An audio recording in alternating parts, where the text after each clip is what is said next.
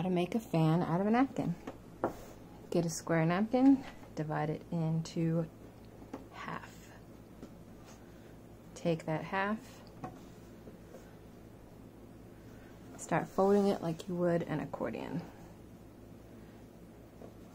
Back and forth, leaving a section about that wide, like two inches, three inches. Flip it over, crease it in the center, fold it. So it should look like this with that little flippy in the middle.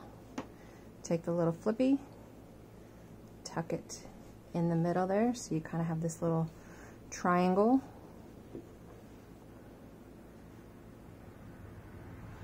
And there you go.